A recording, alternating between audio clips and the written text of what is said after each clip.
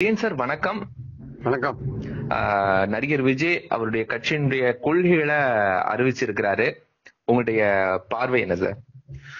இல்ல ஒரு கட்சி துவங்குறோம்னு சொன்ன உடனே இந்த ஏற்பாடுகள்லாம் நடந்துட்டு இருக்கும் போதே நம்ம பல்வேறு விஷயங்கள்ல விஜய் வாய மூடிட்டு இருக்காரு ஒன்றும் பேச மாட்டேங்கிறார் அப்படின்னு சொன்ன போது அவர் வந்து கொள்கை மாநாட்டுக்கு அப்புறம் தான் ஒரு கொள்கைகள் கொள்கைகளை சொல்லிட்டு அதுக்கப்புறம் தான் செயல்பாடுகள் தான் தெரியும் அப்படின்னு நம்ம சொல்லிட்டு இருந்தோம்.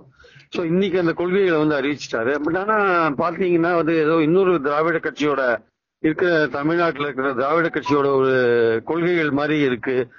இருமொழி கொள்கை மதச்சார்பற்ற சமூக நீதி ஆளுநர் பதவியை நீக்கணும் போன்ற விஷயங்கள் மாநில சுயாட்சின்னு மாதிரி பல விஷயங்கள் அதுல பேசிட்டு வர்றாரு.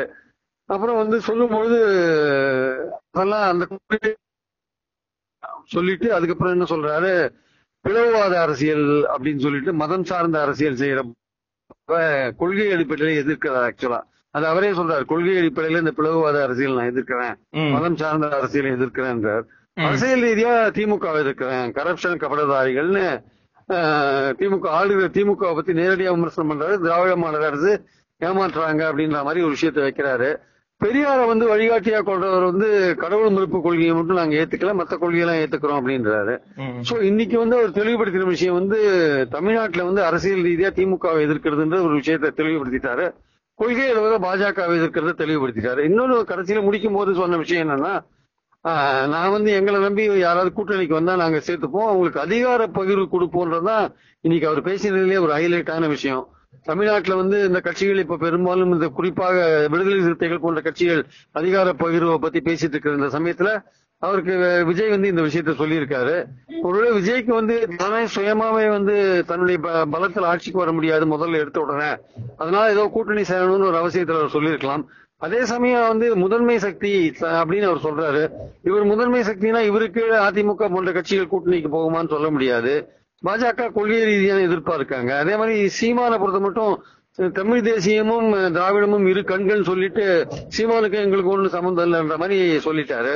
சோ அப்ப அவர் கூட வந்து யார் கூட்டணி வருவாங்க அப்படின்னு பாத்தீங்கன்னா திமுக அணியில் இருக்கிற கட்சிகளை தான் அவர் குறிவிக்கிறாரு. அந்த கட்சிகள் தான் கிட்டத்தட்ட இதே மாதிரியான ஒரு கொள்கை அளவில் பாஜக எதிர்ப்புல வந்து ஒன்றுபட்டு இருக்காங்க சோ அதெல்லாம் எடப்பாடி இதுவரையும் திமுக அணியிலேருந்து கட்சிகள் வருவாங்கன்னு எதிர்பார்த்துருக்கிற சூழல்ல இப்ப வந்து விஜயும் வந்து கிட்டத்தட்ட திமுக அணியிலிருந்து ஏதாவது கட்சிகள் வருமா? குறிப்பா திருமாவளவன் போன்றவர் வருவார்களா? அப்படின்னு எதிர்பார்க்கறத பாக்குறோம் நம்ம. அதே சமயம் வந்து பாஜகவை எதிர்ப்பதன் மூலமாக திமுகவின் ஓட்டுகளை வந்து ஓரளவுக்கு வாங்குறதுக்கான முயற்சியில இவர் இறங்குவாரு.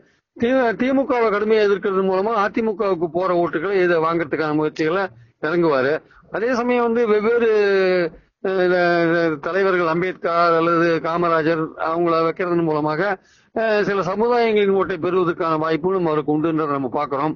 மொத்தத்துல இன்னைக்கு வந்து ஆரம்பத்துல வந்து அவருடைய இன்னைக்கு வந்த கூடிய கூட்டம் அவர் பேசிய பேச்சு எல்லாமே எஃபெக்டிவா இருந்தா கூட அடுத்து எலெக்ஷன் நெருங்க போற சமயத்துல அடுத்த சில மாதங்கள்ல அவருடைய அரசியல் எப்படி இருக்கு திமுக நோக்கி ஒரு கடும் விமர்சனம் தொடருமா அல்லது பாஜக நோக்கி இன்னும் கடுமையான விமர்சனங்களை வைப்பாரா இந்த ஓட்டுக்கு ஓட்டு விஷயம்ன்ற ஒரு விஷயம் இருக்கிறதுனால இந்த ரெண்டு விஷயம் பண்ணா அவருக்கு ஓட்டுகள் வருவதற்கான வாய்ப்பு இருக்கிறதுனால அந்த முயற்சியில் அவர் ஈடுபடுவாரா?